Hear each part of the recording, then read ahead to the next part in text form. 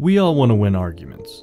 I mean, sure, there are probably those people out there that like losing arguments because that means that they've learned something, but usually, we want to look cool and smart in front of people that don't really care. I mean, come on. I'd miss my own wedding if it meant winning an internet argument with some random guy in Nebraska. But in all seriousness, being able to analyze different arguments through logic will help us make important decisions in life. There's different life philosophies and self-help advice out there, some conflicting with others, and perhaps by looking at all this advice more logically, we could come to our own conclusions. So this video is designed to provide a very basic elementary introduction to logic for someone who knows literally nothing about it. The text I'll be using, which I was taught in my logic class, is Harry J. Gensler's Introduction to Logic. Hopefully, if this video does its job and gets you more interested in logic, you can get the book yourself for further reading. Also, this video contains a lot of information, so feel free to pause it, take notes, go back to earlier sections, or whatever else you gotta do. Now without further ado, let's actually start talking about logic.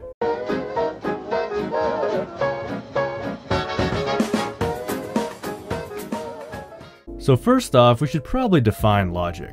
In contemporary culture, we kind of just use the word logic interchangeably with reason. If anything, the word is used as a political tool. You know, people will talk about how logical they are and their side is, while the other side is illogical. They'll say their position is logical without even talking about its validity or anything. But what really is logic? Gensler defines logic as the analysis and appraisal of arguments. I think about logic less as a thing but as a method, a tool that you could use to look at arguments and determine certain things about that argument. We'll talk about those things later, but we might as well also understand what an argument is since that's what we're going to be dealing with when we do logic.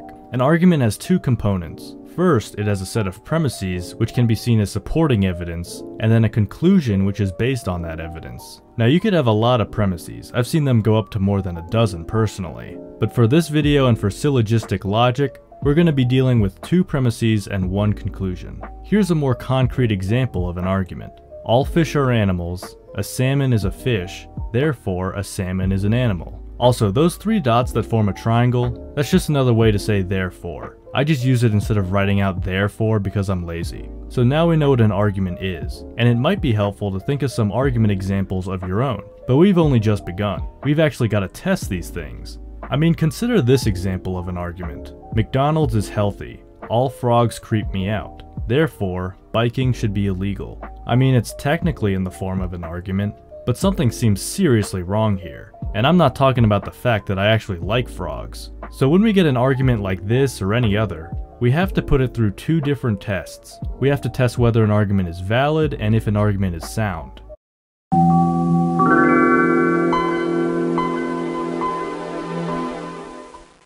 So let's start with understanding what a valid argument is. The book states, an argument is valid if it would be contradictory, impossible, to have the premises all true and the conclusion false. Valid doesn't say that the premises are true, but only that the conclusion follows from them. If the premises were all true, then the conclusion would have to be true. So to test for validity, we first don't concern ourselves about whether the premises are true. We kinda just assume them to be true for now. So even if we get ridiculous sounding premises like, all giraffes live on Mars, we don't worry about whether it's true. What we do worry about is the relationship to these assumed true premises and the assumed true conclusion, to see if the conclusion necessarily follows from the premises. This might sound weird, so let's get an example going. All cats are evil. Garfield is a cat. Therefore, Garfield is evil. So again, it may or may not be true that all cats are evil, or if Garfield is a cat, but that's all irrelevant. We're only concerned here with whether the conclusion necessarily follows from the premises. Now I'll explain an actual test to test for validity later in this video, but here's just an illustration I made to show how this argument is valid. All cats are evil, so the entire category of cats fits into the larger category of evil. Garfield is a cat so he fits into the cat category, and since the cat category is in the evil category, it necessarily follows that Garfield is evil. Therefore, this is a valid argument. But what about an invalid argument? What might that look like? Let's take a classic argument example and modify it a bit to make it invalid. All men are mortal. Socrates is immortal. Therefore, Socrates is a man. Now this might sound valid on its surface, but it's really not. Here's an illustration to show why. So all men are mortal, so the men category fits into the larger mortal category. Now Socrates is a mortal, and while that may mean Socrates can fit into the man category, he could also be somewhere else, like in this fish category, because fish are also mortal. So you see that even if it's possible for the conclusion to follow from the premises, it isn't necessary or forced. The conclusion must follow necessarily from the premises for an argument to be valid. So that's what a valid argument is. Again, I'm actually going to give you a way to test for validity later on in this video, but first I want to distinguish a valid argument from a sound argument. Now a sound argument doesn't need much explanation. Basically a sound argument is a valid argument, but the premises are also true. Remember how we don't really care if the premises are true when we test for validity? Well here we actually do care. An argument could be unsound in either two ways. One, it might have a false premise, or two, its conclusion might not follow from the premises. Here's the classic example of a sound argument. All men are mortal, Socrates is a man, therefore Socrates is mortal. As you can see it is both valid as an argument and the premises are true. Don't worry yourself too much though about sound arguments or determining whether the premises are true, because in my experience, the majority of logic focuses around testing for valid arguments. A critical reasoning class might be better suited for judging if a premise is false or not. Anyway, now that we have distinguished between a valid and sound argument, let's now introduce a certain type of logic which is arguably the most famous and accessible.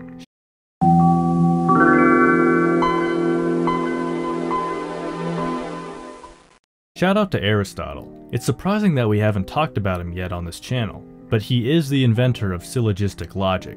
Now there are three parts to an argument in syllogistic logic, or syllogisms for short. There's the major premise, such as all men are mortal, there's the minor premise, such as Socrates is a man, then there's the conclusion, such as Socrates is mortal. Pretty straightforward. The thing is though, when working with logic you're probably not going to be dealing with full words, but rather letters that represent a word. Usually you just substitute the word for the first letter. So instead of all men are mortal, you'd put all M is O, with O representing mortal because we already have an M. But wait, why are we saying all M is O instead of all M are O? Well, that's because there's specific language used for syllogisms. Specifically, there are five words used in these sentences. Those words are all, no, some, is, and not. And when you combine the letters that represent a thing with these words, you get stuff like all F is H, or no G is D. These are called well-formed formulas, but in class we just called them woofs for short.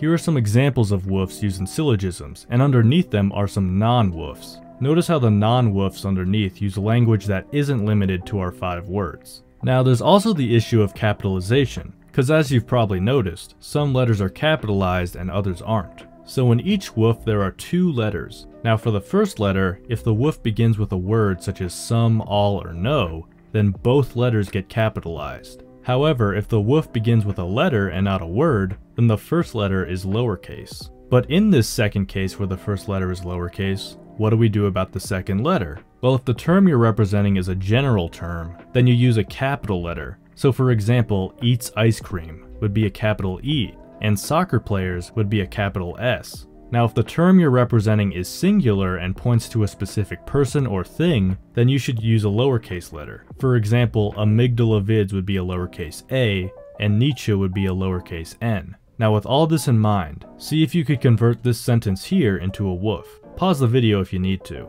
Okay, assuming you pause the video and you have an answer, here's the correct answer. As you could see, we only use those five words that are available to us, and our letter capitalization meets the rules we previously established. Finally, now that we understand WOFs and syllogistic logic, we can now go over a method for testing the validity of a syllogism.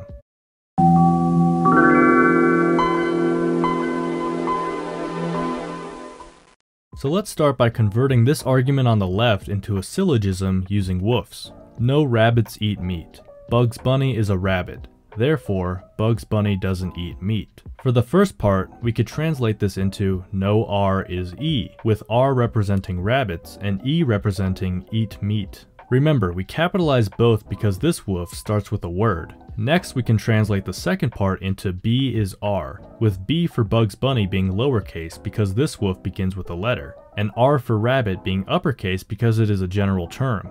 Finally, we could translate this conclusion into B is not E. Alright, nice job guys. We have our syllogism. Next we want to underline any letter that is distributed, but what does it mean for a letter to be distributed? An instance of a letter is distributed in a woof if it occurs just after all, or anywhere after no or not. So here are some examples of distributed letters in woofs that are underlined. Again, pause the video if need be, but let's now look at our example. Since our first woof starts with no, any letter after that is distributed, so we underline both the R and the E.